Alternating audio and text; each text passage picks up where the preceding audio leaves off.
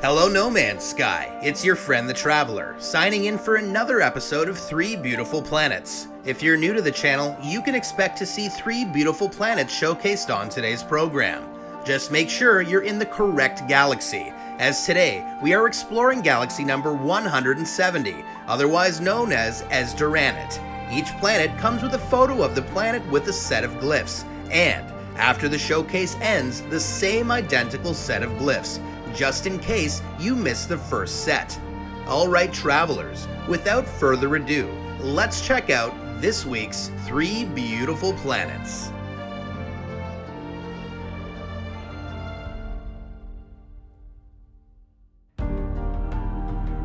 Welcome to Nogtun, our number 3 beautiful paradise planet. Here you can expect no storms whatsoever, as the weather is listed as mellow. Also, this is a sentinel-free planet. There's a full amount of flora and fauna to discover, so get your scanners ready. And if you love the color orange, definitely check this place out, as it comes with a crystal clear crisp blue sky filter, glowing fluorescent grass, and of course the complimentary glowing flora. See you there sometime.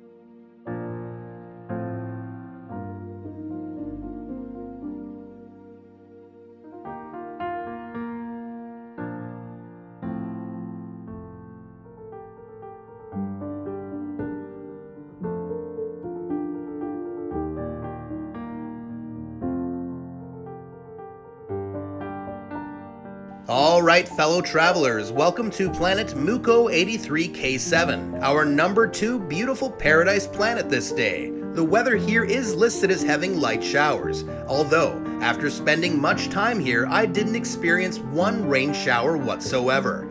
This is a sentinel free planet as well, and you can find an abundant amount of flora and a fair amount of fauna for all your curiosity needs. If you love the color green, this planet is for you as again, it comes with a crystal clear blue sky filter which coincidentally is my favorite type of filter besides a lilac or purple sky.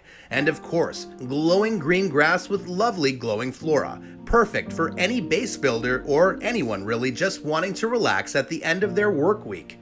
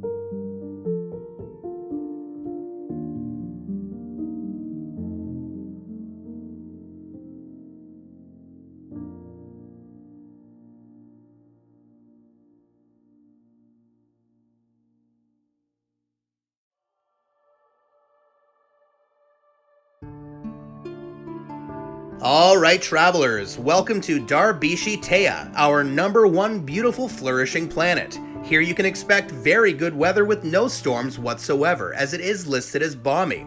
There are sentinels here with regular patrols, but don't pay any attention to them. Also, you can expect an abundant amount of flora to discover and a fair amount of fauna. If your favorite color is dark purple and maroon, this is the planet for you.